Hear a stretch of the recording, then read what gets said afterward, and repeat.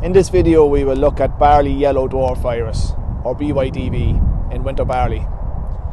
We will discuss BYDV risk and suggest management options. BYDV is a virus that is transmitted by aphids and affects various cereal crops, in particular winter barley.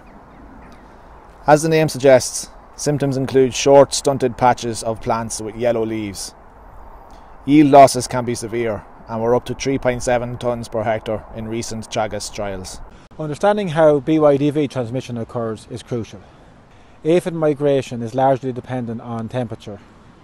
Aphid flight is unaffected by temperatures above 8 degrees Celsius. BYDV risk is higher with earlier sown winter barley crops, such as those planted in September.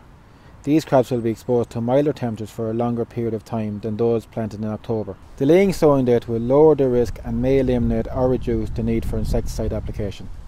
Clean stubble is another important IPM measure to eliminate green bridge transmission. Before an aphicide is applied, check if aphids are present in the crop. Check headlands.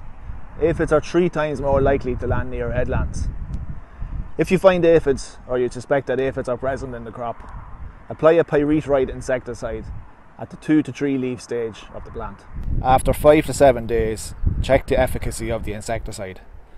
Presence of wingless aphids may indicate pyrethroid resistance. If this is the case, contact your advisor. In summary, some key points to note. Know your risk, sow later to reduce risk, avoid a green bridge, decide on integrated pesticide management strategy, and check efficacy of control.